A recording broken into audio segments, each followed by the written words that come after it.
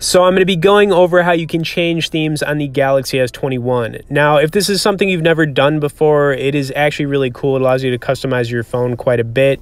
Um, and all you need to do is have a Samsung account in order to do this. Also, if you guys could smash the like button as I'm going over this, I'm going to show you actually a really cool theme here. It's uh, going to be a sci-fi theme. I was going to download it earlier, but all you have to do is uh, hold down somewhere blank on your home screen, and then you want to click on the theme store.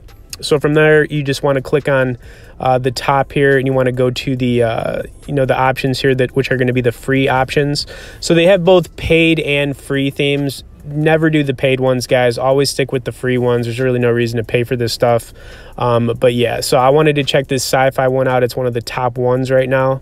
So I'm going to switch it up. You just want to click download on it and then you want to click apply.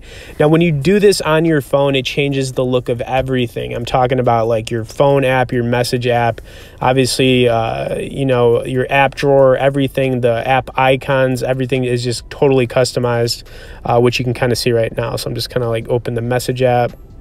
Same thing with like the phone here.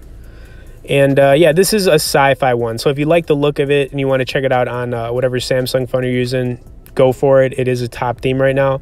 Um, and I want to do one more. I saw another cool one in here. It was kind of like a skull theme. I'm not like big on skulls, but this one looked pretty sweet. It was like one of the top ones as well. There it is right there.